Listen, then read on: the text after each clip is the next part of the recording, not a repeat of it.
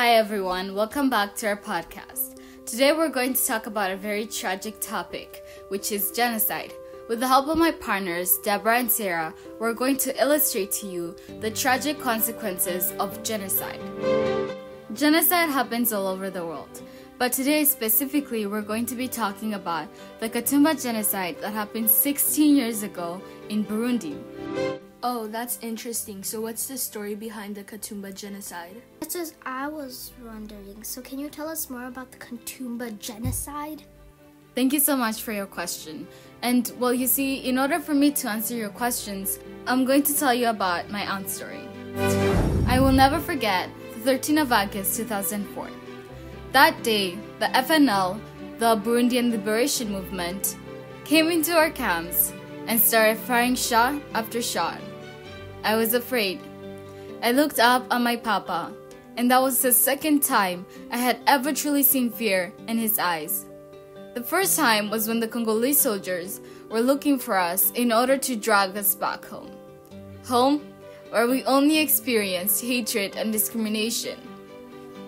I was suddenly brought back to reality by a shot that was fired by one of the attackers. I was so afraid that my entire body was trembling and tears were running down my face. I wiped away my tears and instinctively took my papa's hand.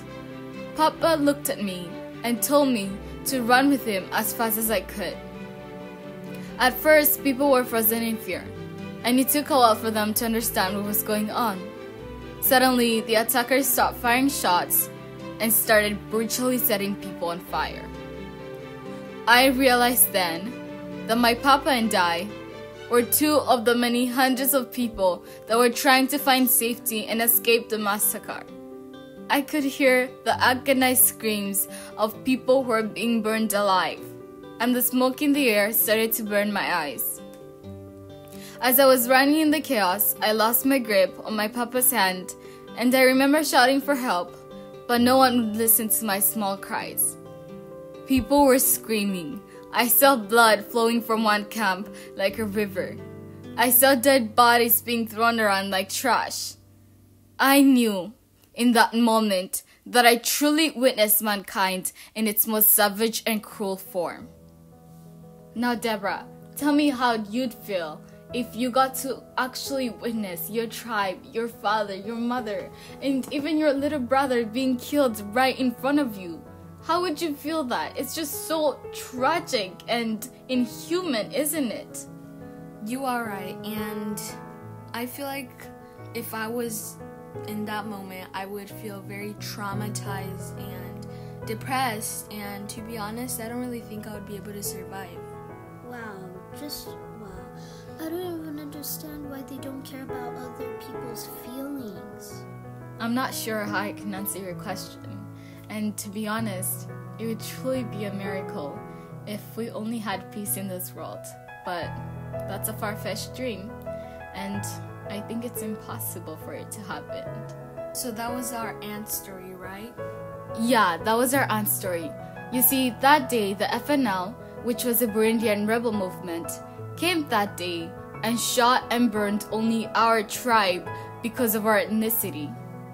I was born two months after the Katumba genocide happened, and while I might not have been there, I've truly witnessed its aftermath throughout my childhood, and it's just as devastating as the genocide itself. It was truly a nightmare. All we wanted was to feel safe. And the question we might ask ourselves is Is genocide real? Is it the truth? And my answer to that question is yes, genocide is real. It has been happening throughout the world with millions of people dying. In the Holocaust, 6 million Jews were killed, according to Haaretz. In the Rwandan genocide in 1994, hundreds and thousands of people were killed because of tribal disputes, according to the Journal of Refugee Studies. And you know what? Whether the reasons are religious, cultural, or tribal differences, none of them justifies genocide. Then what is genocide? You see, Sarah, genocide is an atrocity. It is having this immense hate for a group of people that you're willing to kill them in the most brutal way. Is genocide fair to all concerned? No, it's not. when they shot bullets through our families' heads and just decapitated them with no mercy. That is not fair. When they viciously ripped the heart of a mother right in front of her child. That is not fair.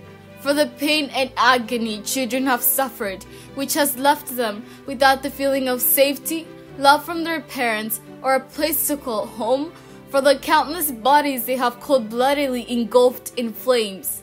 That is the pure definition of genocide. And that is not fair. So we're just going to sit around, let them kill our tribes without any justice whatsoever? Are you kidding me? I'm really not. I'm being serious. The Congolese government isn't really acknowledging that the Katumba genocide did happen. They have been denying it until date. And this is why I believe that we should come together, not as tribes, states, or groups based on certain identities, but as humans who believe that genocide is inhuman, an atrocity that should never happen. I miss Congo and I want to see it. So, can we ever return to Congo if the genocide is still happening? I'm not sure if I can answer your question again, Sarah. Because to be honest, the people over there say we don't belong in their country and they treat us as outsiders and they say that we're Wanyarwandans and we should go to Rwanda. But then when we go to Rwanda, they say that we don't belong there, we belong to Burundi. And then when we go to Burundi, they say that we don't belong there, we belong to Congo. So it's just a whole big mess and we're left as refugees with no country to call home or a place to say that we belong. But once they see us over there, they're going to be shocked and see that we belong there and start asking us for money. And so you think once they see us, they're going to ask us for money, and that's the reason they're going to um, tell us we belong? Yeah. Sarah, you're very right on that point. People are so selfish that they don't even care who they hurt in the process in order to get what they want. And believe me, our tribe has seen that. It's seen how selfishness, greediness for power, and hatred can commit this tragic and traumatizing event with millions of people dying. So, Solange, you were saying that we don't have a place to call home, but we have Jesus, so we technically do have a place to call home. That's not what I meant. I meant that here on earth, we don't have a place to call home. And you know what, Deborah?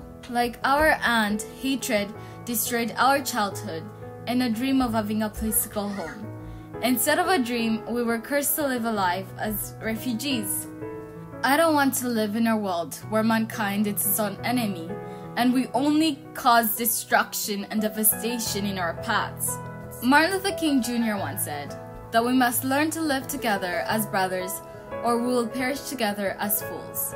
What does that quote mean? That quote means that if we don't learn to love each other as brothers and sisters, then I'm not really sure if we'll ever eliminate the atrocity that is genocide. Wow, just wow. I feel so sorry for the Banyamulenge that experienced that. And Solange something that I have also noticed is that some Banyamulenges that have been born here or have lived here have forgotten everything like their religion, their culture, and everything that their parents have left for them. So, Solange, what advice do you think we should give to those Banyamulenges? I have one advice to give to those children. Don't forget your religion. I know for sure as Banyamulenge believe in God Jehovah. He literally brought us out of a life of only misery and devastation and give us a place to live, food to eat each day, and a bed to sleep at night. And to be honest, the Banyamulenge in Congo can only dream of such luxuries, but never get to experience them. It's their dream to have the life that we have right now. So please, don't forget who God is, and don't waste your time on useless things that are never going to help you in life. The second advice I'd like to say would be to respect your parents. Our parents have literally brought us into this world seen us grow up and taught us everything that we know. And so, having the audacity to disrespect our parents, it's just nothing more than stupidity right there. Okay, Sarah, what would our third advice be? Our third advice is respect. Respect means treat people the way you want to be treated, and then they'll treat you how they how you treated them. Okay, everyone, this is the end of our podcast, and we hope that you've learned that selfishness, hatred, and greediness brings nothing more than devastation and destruction to other people. Thank you for listening, and as many will say, ta ta.